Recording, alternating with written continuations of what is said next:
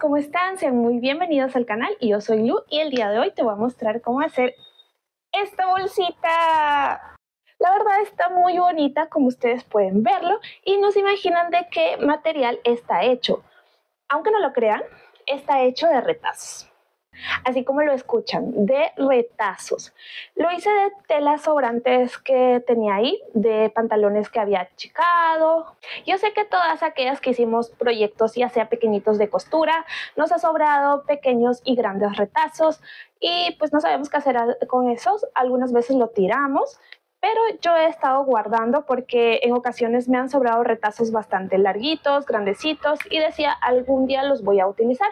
Así que he estado recolectando muchos retazos, tanto así que ya tengo tres cajas llenas de retazos y no sabía qué hacer con esto, así que me puse a investigar y encontré sobre el tema de patchwork.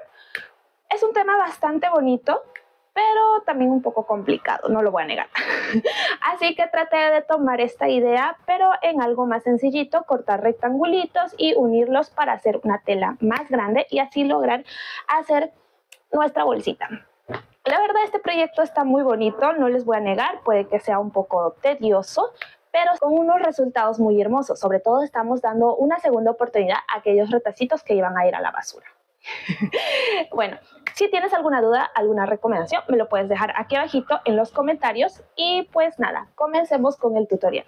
Voy a iniciar mostrándoles cómo hice la parte del patchwork, que tenemos que cortar los retazos en formas rectas, ya sean cuadrados o rectángulos para que nos facilite al momento de coser. Una vez que tengamos estas piezas, vamos a ubicarlo según nuestro diseño, yo viendo qué diseño me gusta más, pero siempre manteniéndonos en la medida aproximada que vamos a necesitar. Cuando ya tengas ubicado tu diseño, vamos a comenzar a coser con una puntada recta y si tú tienes una máquina remalladora overlock, puedes utilizarla, pero si no, no hay problema. Pero lo que sí nunca debe faltar es planchar después de unir estas piecitas porque créanme que sí hace la diferencia. Yo sé que en los últimos videos les he repetido esto más de tres veces, pero sí hace la diferencia. Y vamos a seguir repitiendo estos pasos hasta lograr obtener el tamaño que necesitemos. Ahora sí les voy a dar la lista de medidas. Voy a necesitar dos rectángulos de 30 por 26 centímetros para la bolsa. Y para el forro voy a necesitar dos rectángulos de 25 por 26 centímetros en una tela más delgada. En este caso yo estoy reciclando algunos retacitos que tenía por ahí. Como pueden ver, acá están las costuras.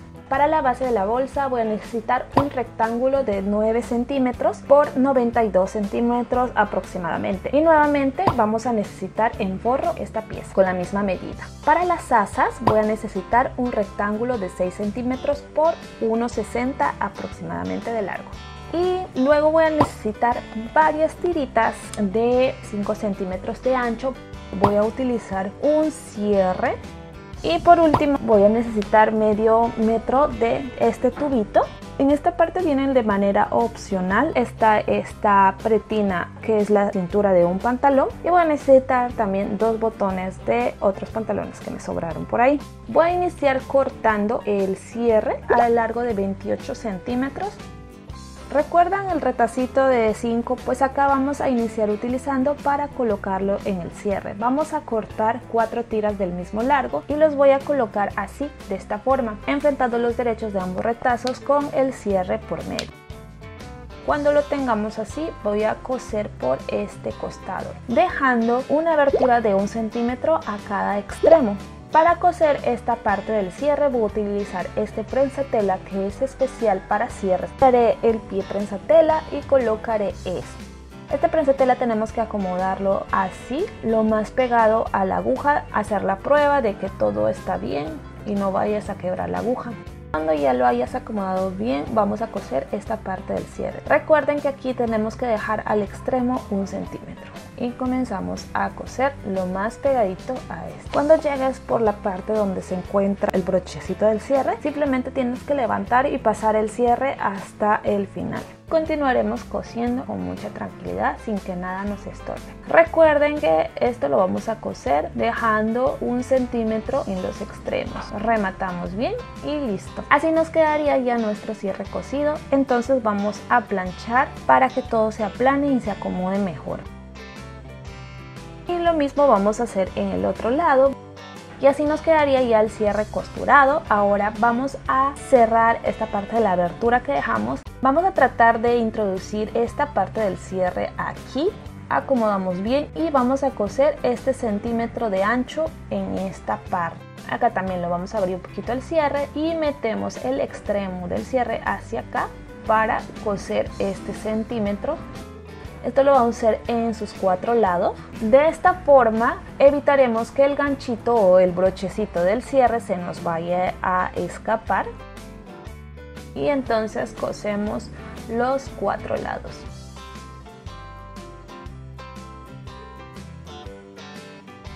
Así ya nos quedaría cosido y vamos a cortar las puntitas de la tela para que nos sea mucho más fácil voltear y volteamos sacando lo que más podemos del cierre. Empujamos con la ayuda de una agujita, una crochet, un palito, lo que se quiere para que no quede así como mucho. Hacemos este mismo paso en el resto de las esquinas y así nos quedaría. Si ustedes desean pueden hacer una sobrecostura aquí lo más pegadito al cierre, pero yo lo dejo así. Vamos a necesitar este retazo que era para las asas. Voy a cortar dos tiras de 26 centímetros. Esto es para colocar el cierre. Antes voy a marcar la mitad de esto y la mitad del forro para que todo me quede lo más derechito posible. Tratando de coincidir estas rayitas, acomodo el cierre así, el brochecito mirando hacia nosotros, enfrentando el derecho de la pieza para los tirantes vamos a colocarlo así como un sándwichito y lo vamos a coser. Y lo mismo vamos a hacer en el otro lado Ahora vamos a unir la parte que le va a dar forma a nuestra bolsa, que es la tira de 9 centímetros de ancho y lo vamos a acomodar así, enfrentando los derechos del rectángulo con el tirante de 9 centímetros. Vamos a acomodar extremos así. Acá quiero que me presten atención para que vean. Y aquí, donde llega el bordecito, voy a hacer una marquita justo donde llega el borde de nuestro rectángulo. De este borde vamos a retroceder un centímetro y hacemos una marquita.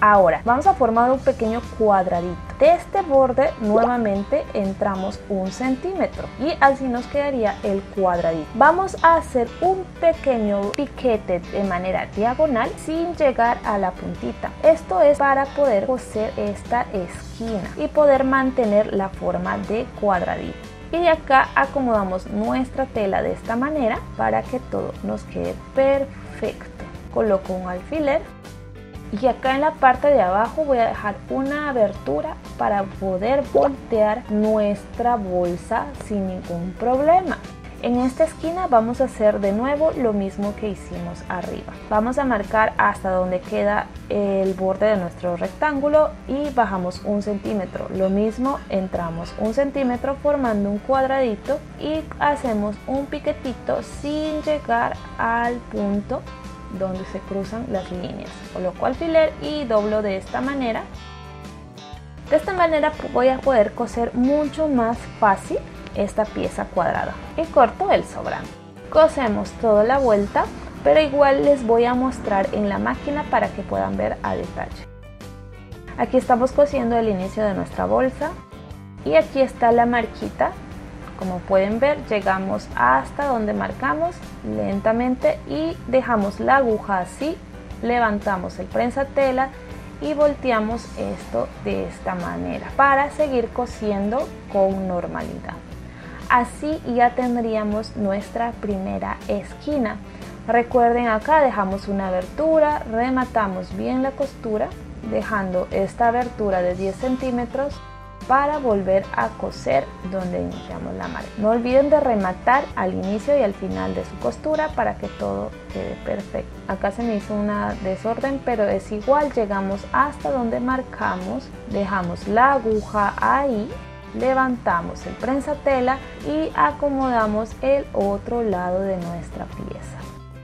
Cosemos con normalidad hasta el final. Así nos quedaría un lado del forro, como pueden ver todo nos queda la abertura y todo nos queda muy bonito. Ahora vamos a coser de la misma manera el otro lado. Acá nos puede parecer un poquito complicado porque ya tenemos la pieza cosida que nos impide acomodar con mucha facilidad, pero con mucha paciencia todo nos va a quedar perfecto ven, acá llegamos a esta esquina y hacemos los mismos pasos, marcamos el borde de nuestro rectángulo, entramos un centímetro y lo mismo por el otro lado. Del borde entramos un centímetro y hacemos un pequeño piquete en esta esquinita, así de manera diagonal, sin llegar hasta donde marcamos para poder unir las piezas. Y hacemos lo mismo. Siempre tienen que fijarse que ambas esquinitas estén en la misma dirección de un lado a otro.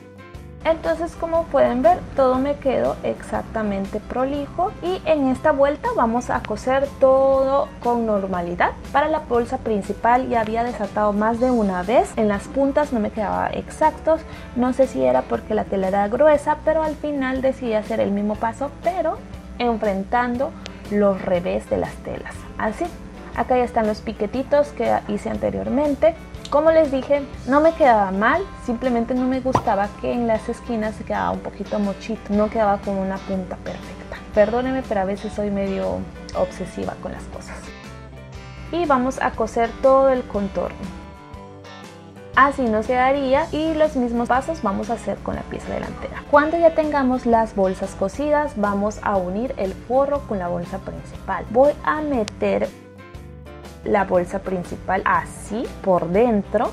Voy a acomodarlo bien y vamos a coser uniendo las esquinas. Primero en la bolsa delantera yo voy a separar las costuras así para juntarlos de esta manera para que no me sea muy grueso la unión acá. En el forro no hay problema porque no es tan grueso ya que el tela del forro es delgadita y ahora sí vamos a coserla por todo el alrededor. Ahora ya tendríamos cosido, recuerden la abertura que hicimos en el forro, por ahí vamos a voltear toda la bolsa. Saquemos todo y en esta parte de la abertura la acomodamos bien lo pueden coser a máquina o a mano con una costura invisible para cerrar esta abertura. Introducimos el forrito por dentro en esta parte de las costuritas voy a hacer un pequeño piquetito para separarlos, así. En todas las esquinas hago lo mismo. Y en el borde, así acomodo bien para separar el forro de nuestra bolsa principal. Y voy a hacer una sobrecostura solo en las dos partes delanteras. Esto es para que no se me ande escapando el forro de adentro y que todo nos quede muy planito. Y nos quedaría en cada lado. Este lado no lo hice porque no es tan necesario. Solo lo hice aquí, queda muy bonito. Y por el otro lado.